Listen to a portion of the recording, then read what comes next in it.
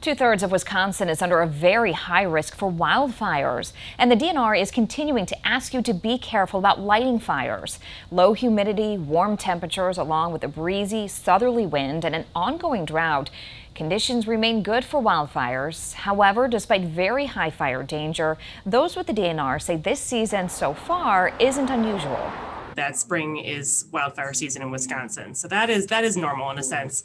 What's abnormal about this year is that we did go snow free statewide uh, very early this year. So we were about two weeks early. Uh, we were very active uh, in March and April so far this year, the DNR has responded to 611 fires, which have burned more than 1,500 acres.